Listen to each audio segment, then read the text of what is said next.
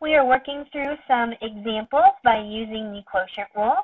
And so let's go ahead and look at our next example.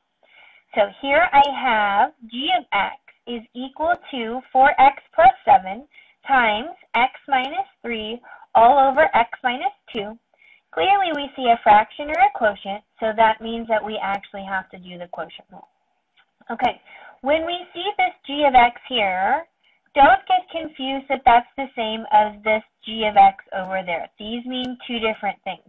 This is the name of this function, and this g of x represents anything in the denominator. So if I were to color code these, this g of x just represents whatever I have in the denominator.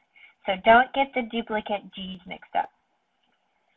Now, the way we have it here is not only would I have to do a quotient rule because clearly we see a quotient, but notice that I also have a multiplication up here.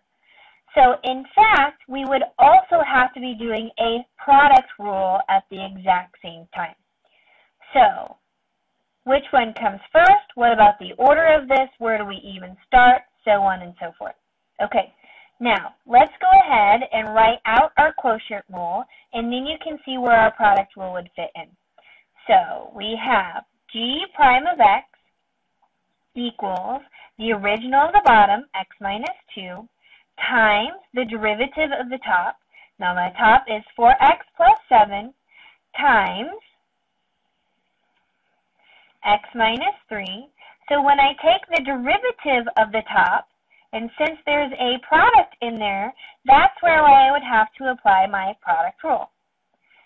Continuing on with my quotient rule, minus the original of the top, which would be 4x plus 7, times x minus 3, times the derivative of the bottom.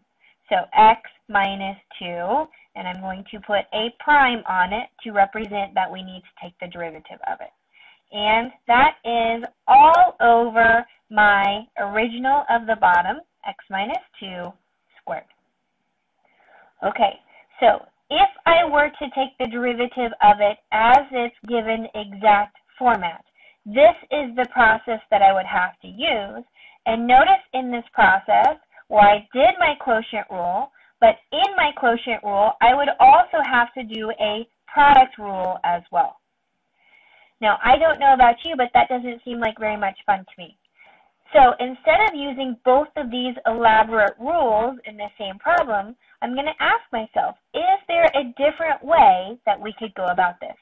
And there's a clear answer to that, and that's yes.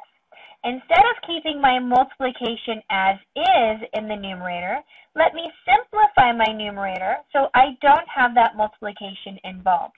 So I'm just going to FOIL this out. 4x times x gives me 4x squared. Outside gives me a negative 12x. Inside gives me a positive 7x. So together, that gives me a negative 5x. And last gives me a negative 21. That is still all over my denominator. If I wrote my original problem like this, I no longer see a product, hence I can take out the product rule out of this derivative. So you're going to start to see that these problems are not only can you apply the rules that you've learned, but can you figure out the easiest way to take the derivative of it?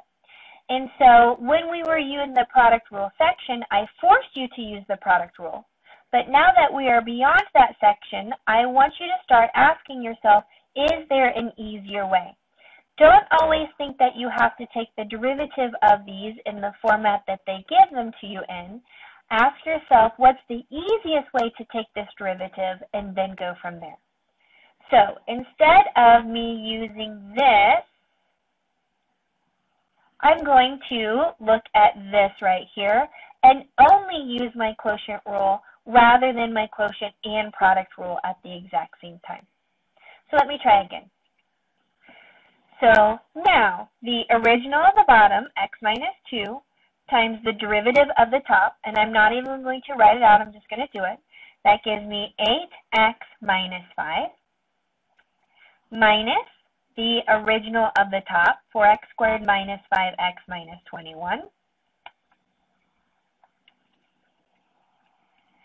times the derivative of the bottom, which is just 1, all over my bottom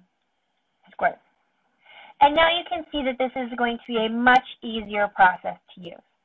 Um, I've set it up for you. I've taken the derivative for you.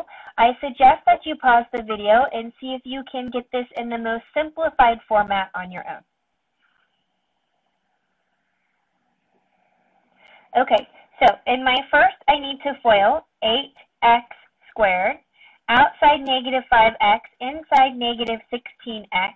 That gives me a negative 21x. Last, plus 10.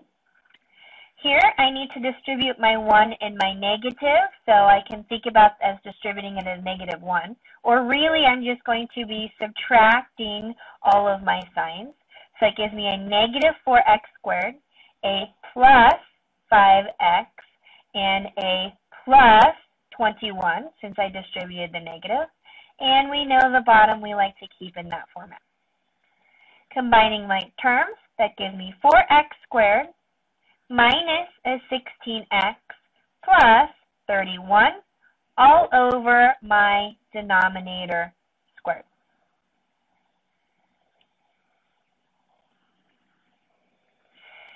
And if we want, we can see if the numerator factors, which I don't believe it does. So we have our final answer of g prime of x is equal to this guy here. So my purpose of this example is to tell you that don't automatically use the format that the problem comes in. Ask yourself, is there an easier way first, and then move on from there. And that becomes more of the theme rather than just applying the rules or memorizing the rules as we know them.